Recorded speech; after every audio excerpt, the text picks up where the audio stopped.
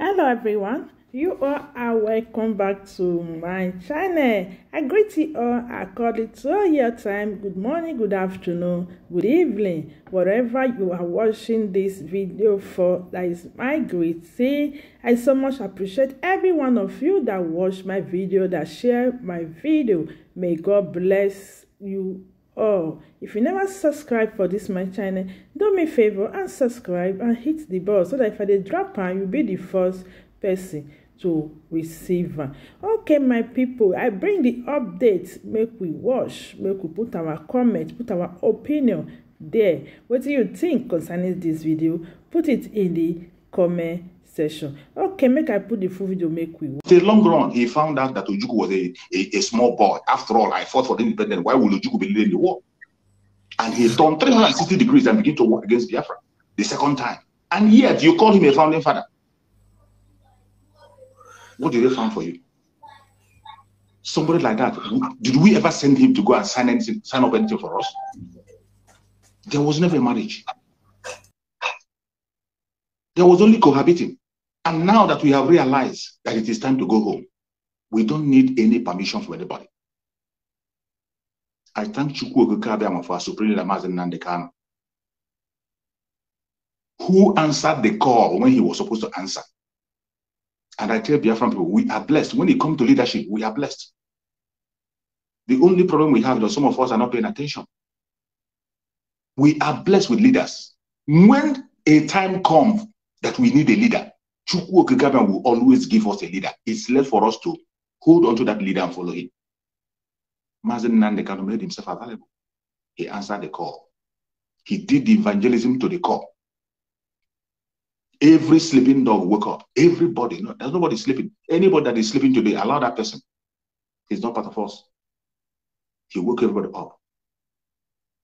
And when they thought they have gotten him, they didn't know that Mazi Nnamdi Kanu is not just, he's not just a leader, but a spiritual one at that. He has already prepared somebody. He anointed the prime minister you are seeing today, Mazi Nnamdi Kanu, by him own self, anointed him. When he told you about the new dimension, how can somebody tell you about the new dimension and you're still going back to the old wine? Are you not sick? He himself, he wasn't in prison when he announced the new dimension. He wasn't sick. He was with his senses, even while he was still broadcasting. He was still with us when he announced and told you that this man is coming with a new dimension. How can you be talking about a new dimension? How many of you will leave a new model car and go for old model car?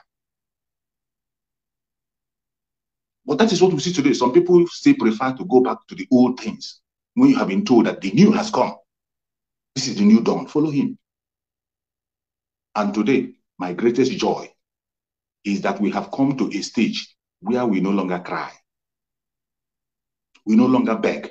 There was a time when it was time for to protest. We protested and they laughed at us. They didn't pay attention. A time for petition. We wrote petition. They laughed at us. We brought evidence, picture evidence, video evidence, live evidence. They laughed at us. Look at where we are today. Finally, the man who is going to complete the assignment has appeared. And in this era, no matter whom you are, whatever suggestion you have in your own pocket, you can cry blood.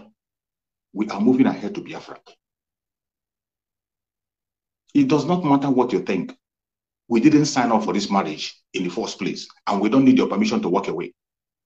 That is one of the things that makes me love Master Simon Ebadis. So he doesn't care what you're talking about, whatever, whoever you are. As long as you are standing against Biafra, we will crush you and move ahead. It doesn't matter what you want to offer.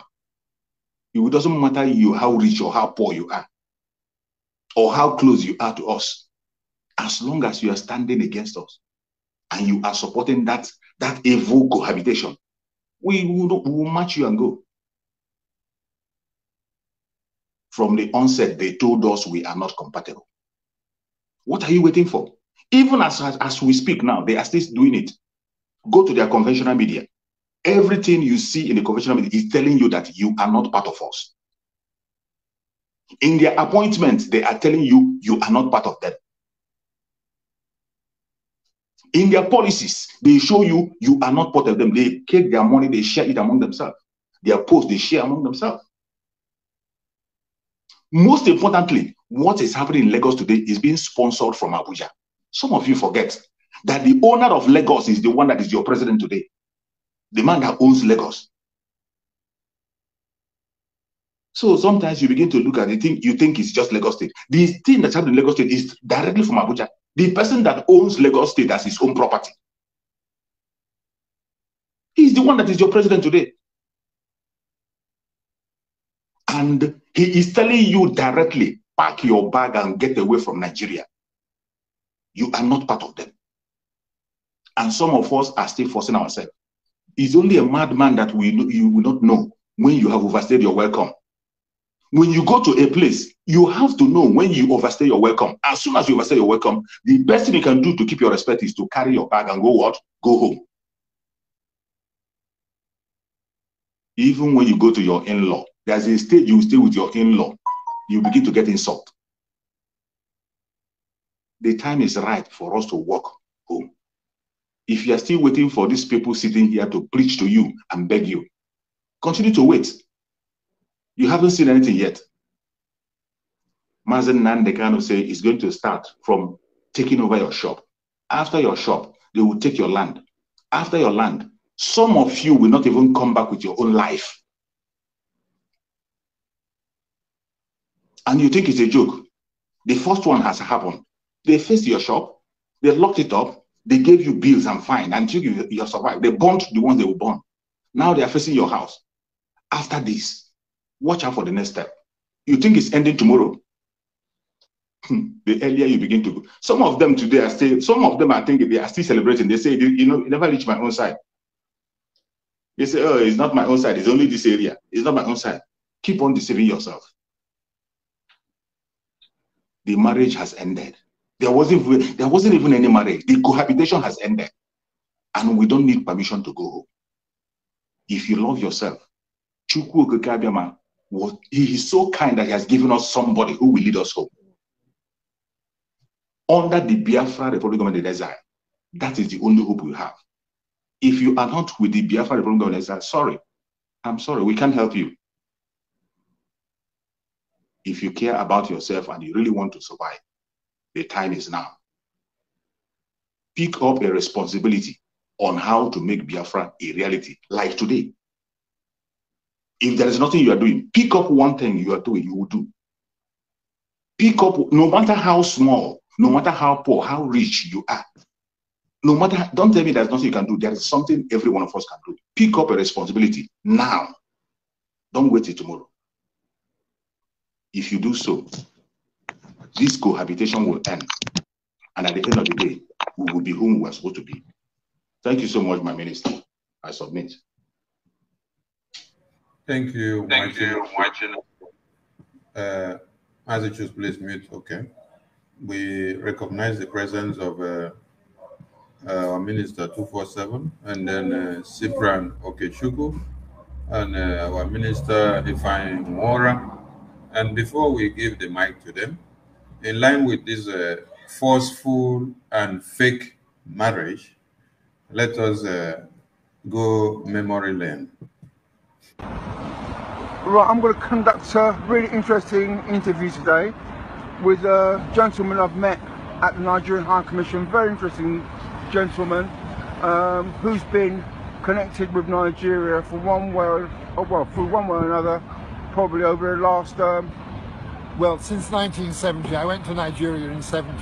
Okay, if you please like to just give me a bit of insight that you gave me earlier on with regard to Nigeria and the whole politics and the issues that we're having today. It'd be really interesting to um, get an angle from you on what exactly happened.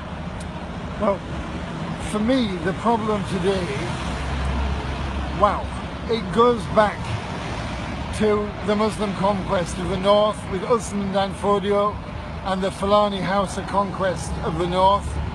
And the north becomes Muslim and when the British colonised the north in 1900, what do we, the British, do? We very cleverly rule with a few hundred district officers through the Muslim emirs.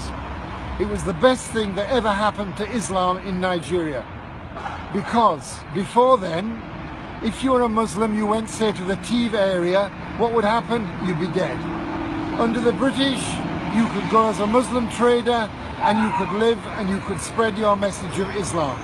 So the British enabled Islam to spread in Nigeria and the British stopped the spread of Christianity because Lugard kept missionaries out of the north.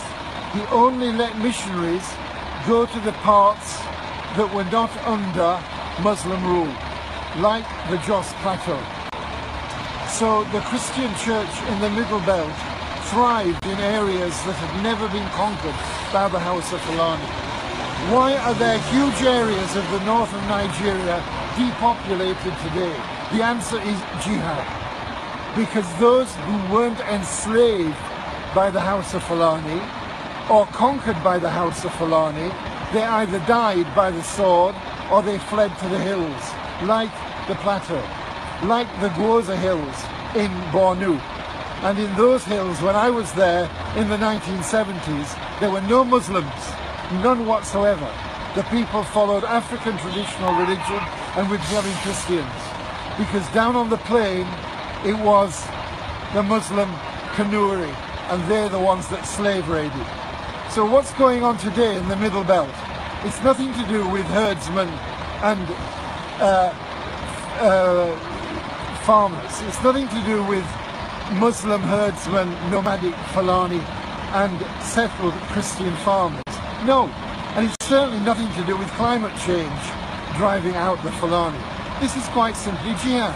This is just an extension of Usman Dan Fodio's jihad by other means. But nobody in England dare call it jihad because they're all shit scared of being called Islamophobic. Well, I'm not. I don't hate any Muslims, but I think Islam is of the devil and it has to rule and it must rule Nigeria. Islam a religion of peace? Don't make me laugh. Where is Islam a religion of peace? Where Islam rules. Where it doesn't, that is the region of war. That is Islamic theology. That's what this is. So those who are for violent jihad, in my view, they have the historic pedigree in Islam. They're the Salafists. Now Islam is a broad church. Islam encompasses all lots of people. Most Muslims are not terrorists. But the people around us today, here and in Nigeria, who are terrorists, by and large are Muslims and a particular kind of Muslims. They are violent Wahhabi Salafists. When I say that, I won't have some idiot accusing me of Islamophobia. They should credit me with a little knowledge of Islam, its history and theology. This isn't about Muslims versus Christians. It's about Islam must rule, Islam must triumph. And that's the case in Nigeria, and it's the case here too. Except here they can be a bit quieter about it. Thank you for that. I really, really appreciate it. And um, yeah, really interesting. Please, can I just have your name? Can you just tell me your name for? You give me yours, I'll give you mine. Okay, we'll, we'll just end.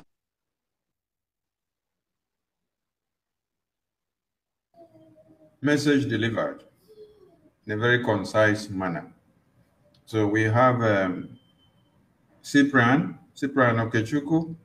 You go with the context of what you've listened and connect it to the forceful marriage which the forceful and fake marriage which we have to end and with the notion and explanation of what the British ambassador has given you, who served in Nigeria, and knowing what the OIC, Organization of Islamic uh, Groups or Communities, have come up with today, and what you saw the British High Commissioner did in uh, Britain, unanimously folding them all up together to tell you that Nigeria is Islamic State. So it's like he's reminding them of what